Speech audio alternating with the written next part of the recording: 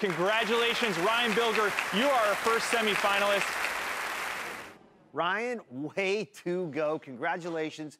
You did it. How does it feel? You're now a semifinalist. It's insane. It's weird. I feel more like the knot in my stomach is here now and it wasn't here when I was playing. It's so weird. I think it's all like washing over me right now.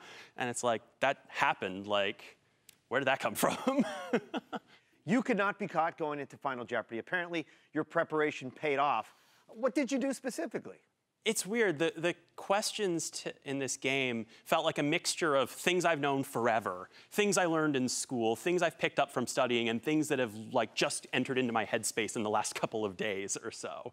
Um, thinking specifically like I just watched the movie Wall Street the other week, and boom, there's a question about it. I'm like, ah, I got this one. I mean, I got a daily double about Pennsylvania history. It's like, you, you really can't give me anything more that I, that I could possibly want more.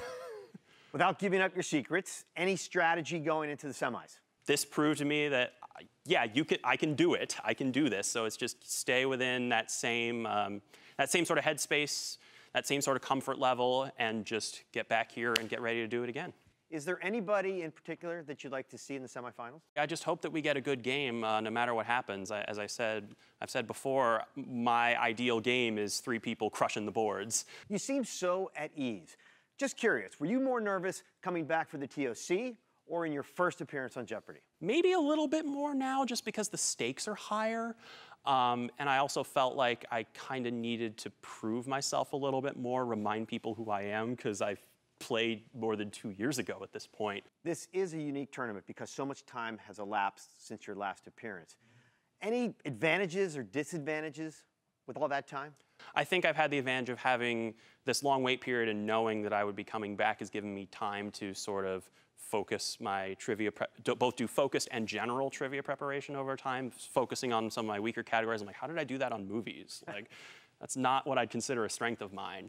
Um, but also to just stay involved in the trivia community and just be absorbing all of this stuff. I'm sure there's so many people that are rooting for you. Uh, your fans, your family, fans. Uh, the trivia community. Any special messages for those folks?